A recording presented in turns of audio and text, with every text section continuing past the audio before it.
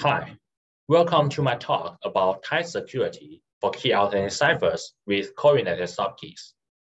I'm Xihu Zhang, and this is joint work with Stefano Tessaro. A T-round key alternate cipher construction is built on T public permutations, pi 1 to pi t, and consists of T plus 1 n-bit subkeys, S0 to ST. The KAC has received considerable attentions because it captures the design of substitution permutation network, with the most prominent candidate being AES. Previously, the theoretical analysis of key alternate cipher were on the two independence assumptions. That is, the subkeys S0 to ST are independent and sampled uniformly at random. And round permutations pi 1 to pi t are also independent and sampled uniformly at random. After a night of work studying KAC, it was proven that under the two independence assumptions, KAC achieves the optimal security, tolerating any adversary that makes at most 2 to the nt over t plus 1 queries, counting both the queries to the cipher construction and the queries to the public permutations, pi 1 to pi. However, the independence assumption is not necessarily realistic in the practical cipher constructions. In particular, practical ciphers generate all subkeys for a short master key. And they use a single permutation for every round instead of independent permutations. Currently, the KAC security without independent assumptions still remains not well understood. There is still a large gap between the theoretical study of KAC and the practical cipher constructions. Bridging the gap turns out to be not easy. Since the last decade, limited progress has been made towards removing independence assumptions while maintaining the optimal security. The first result was by Dunkelman et al., where they considered minimizing Even-Mansour cipher, which is a one-round case for KAC. They reduced the master key length from 2 n-bit to n-bit. Later, Chen et al. successfully minimized two-round KAC in both the key length and the number of permutations used.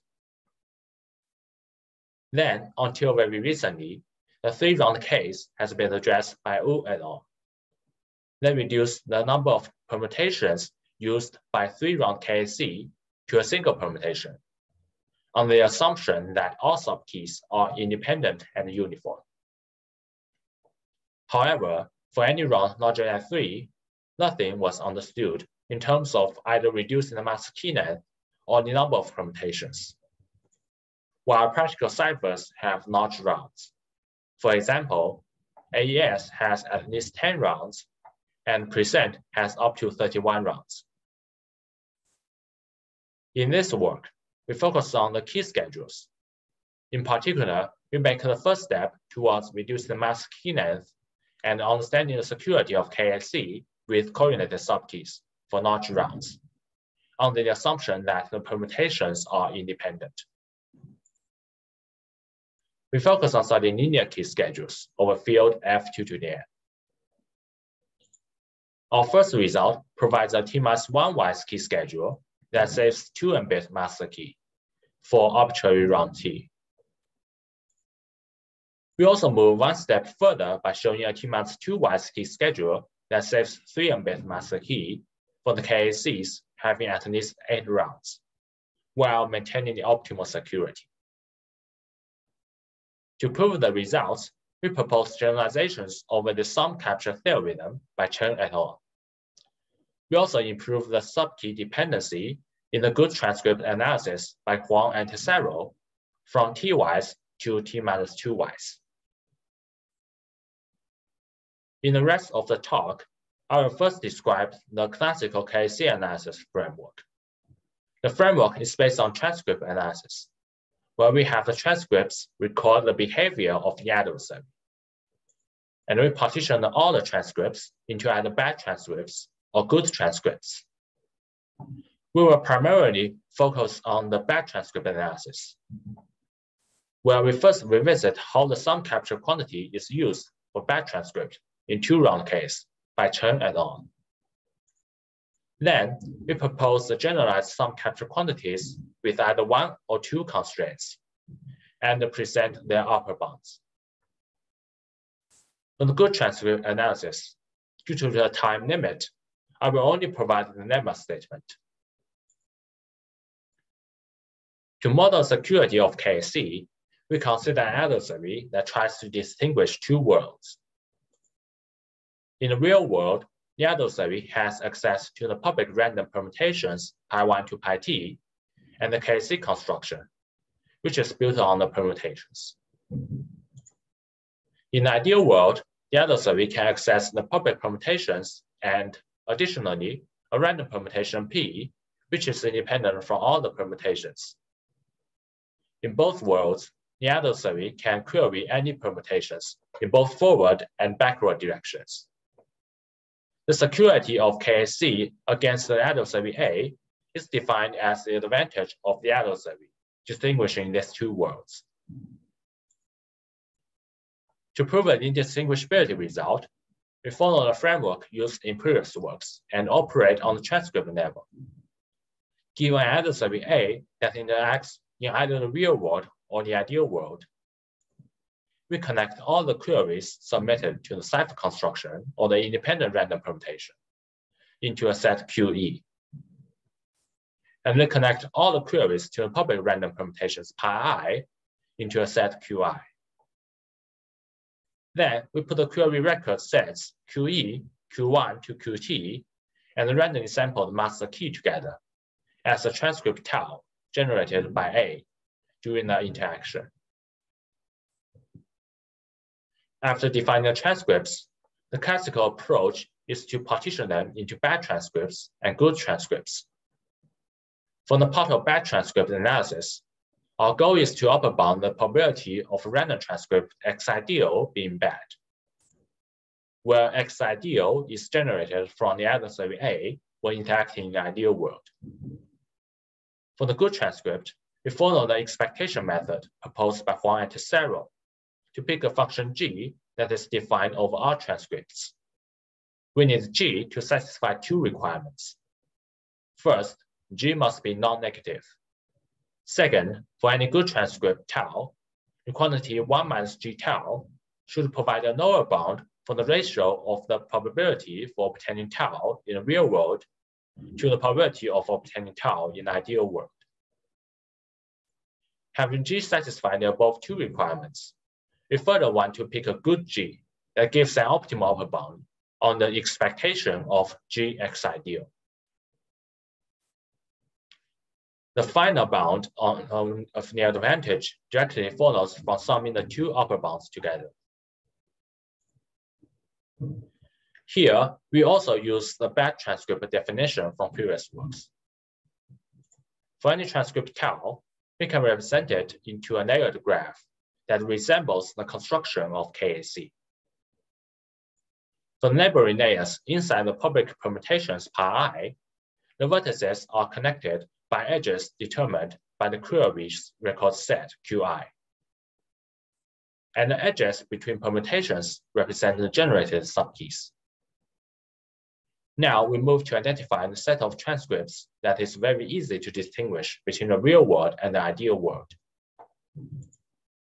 Here we look at the pair of vertices xy in QE, which corresponds to a recorded query from the adversary to the cipher construction. The goal is to check whether the pair of cipher query xy is consistent to the underlying permutation queries and the generated subkeys. We start at cipher input vertex x and move to the rightmost reachable layer from x, giving us a path.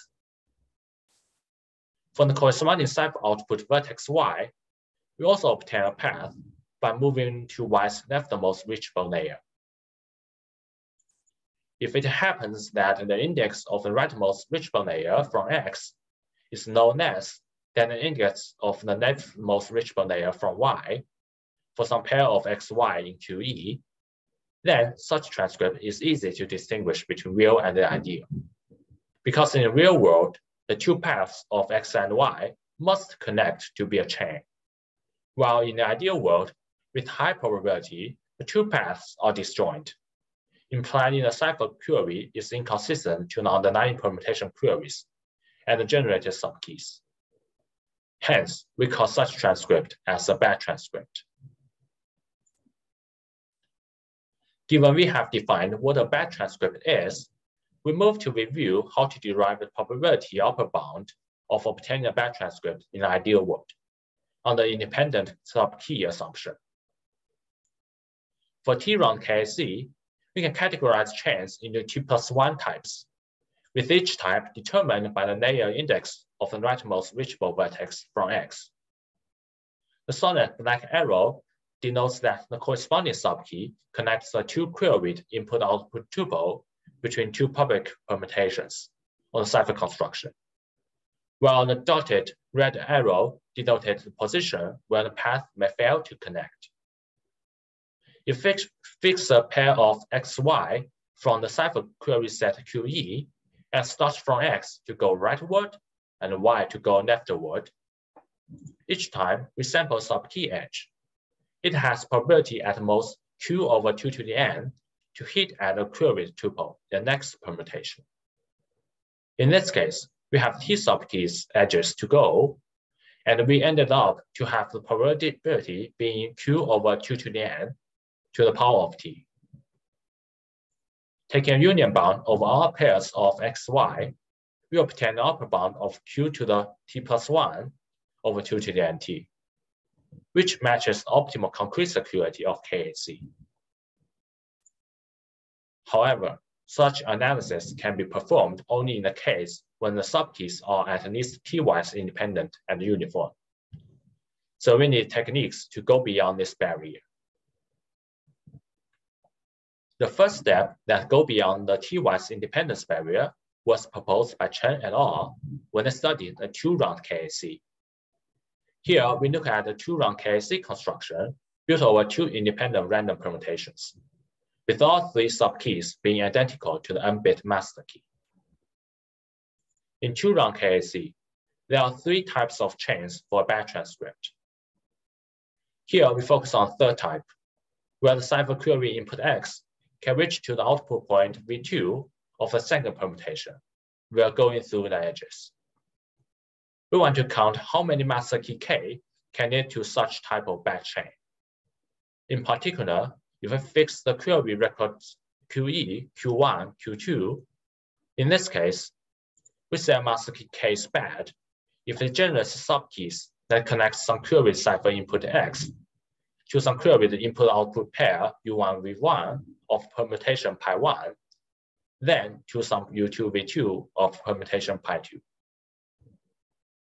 Given all subkeys being identical to key K, the condition implies that X XOR U1 equals V1 XOR U2.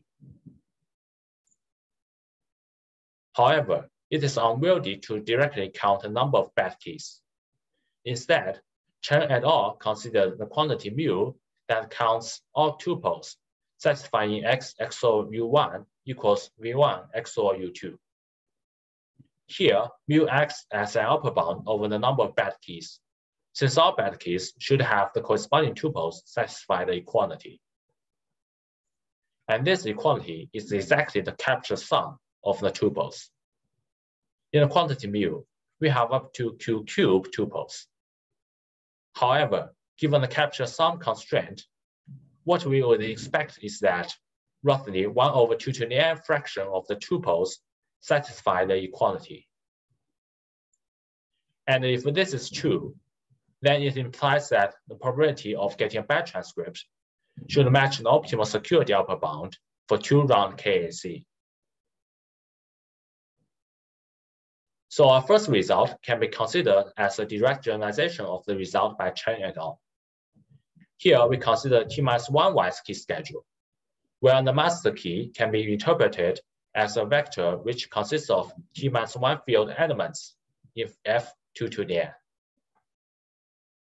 The key schedule algorithm is to directly apply matrix A to a master key vector and obtain the subkeys, which can also be viewed as a vector of t plus 1 field elements in F2 to the n. The requirement that we impose on the matrix A is that it must give t minus 1 wise independent and uniform subkeys. Or in other words, n t minus 1 rows of matrix A form a submatrix of rank t minus 1. To perform the bad transcript analysis for T minus one wise linear key schedule, we can similarly define a sum capture quantity that counts the tuples that have T subkeys involved. Here, the sum capture quantity contains query records for T minus one permutations and two additional sets, with all of them having size Q. The equality constraint involves all the involved T subkeys with its coefficients CIs determined by key schedule matrix A. It essentially says that any subset of T minus one subkeys uniquely fix the remaining one subkey. For the defined sum capture quantity, we show that if the vector of coefficient C comes from the T minus one wise linear key schedule, then for moderately large Q, with high probability, we have the quantity upper bounded by q to the t plus 1 over 2 to the n, which implies the optimal upper bound for obtaining a bad transcript in the ideal world. And the lemma is proved by Fourier analysis. Our second result studies the T minus 2 wise key schedule, where the master key has been shortened to T minus 2 times n bit. The key schedule matrix A now has one fewer column. And now we require A to give T minus 2 wise independent and uniform subkeys.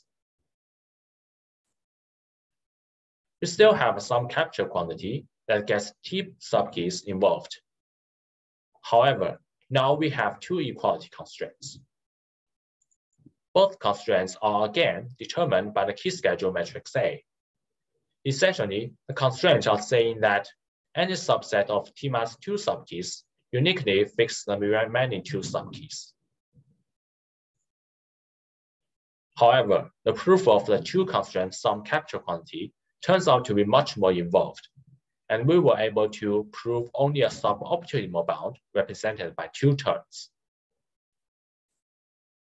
Using the sum capture quantity bound, you can derive an upper bound for the probability of obtaining a bad transcript in the ideal world. We can observe that term one always gives optimal security for Q for any round T. However, term two is the bottleneck and it implies optimal security only when the KC has at least eight rounds. After performing the bad transcript analysis of the T-1 wise and T-2 wise key schedules, what is left now is a good transcript analysis. Here, we directly state the lemma that applies to both key schedules. The lemma is very similar to what was stated by Hoang and Tessaro, with the optimal bound is still maintained. The only difference here is that the requirement for subkey dependency has been weakened from T-wise to T minus 2 wise. Finally, by putting both analyses together, we conclude the optimal securities for both T minus 1 wise and T minus 2 wise key schedules. In conclusion, we studied the security of KAC on the independent round permutations and correlated subkeys. We show that the T minus 1 wise key schedules can save 2 mbit in the master key and the T minus 2 wise key schedules save 3 bits when the round T is at least 8. However, there are still many open problems in studying KAC security with reduced independence. One problem that still remains open is to minimize a three-round KAC. Since our T minus 2 wise key schedule tightness result does not apply to the case when T equals 3. Another aspect is to see whether tightness result can be extended to beyond T minus 2 wise key schedule for notch T. For more details, please check out our paper. And that's all for the talk. Thank you.